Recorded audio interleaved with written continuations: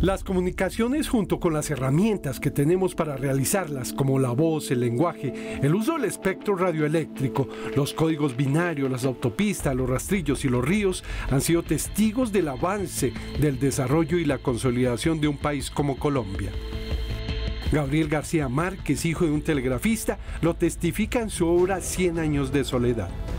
Se sabe que los primeros humanos que habitaron el hemisferio americano se comunicaban a través de caminos, puentes y transportes fluviales y marítimos.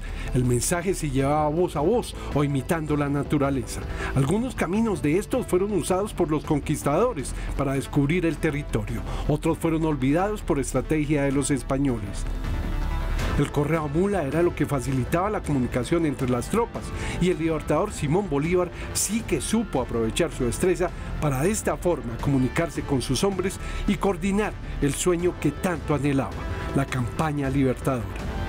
Posteriormente, Samuel Morse, inventor del telégrafo, cambiaría la historia de las comunicaciones por la eficiencia y eficacia de su máquina de pulsaciones. Una nueva nación nacía mientras el mundo se globalizaba con la llegada del telégrafo, la máquina de vapor, el tren, la radio, el transporte aéreo. Cambios que pusieron retos logísticos y normativos a las instituciones del Estado apenas constituidas.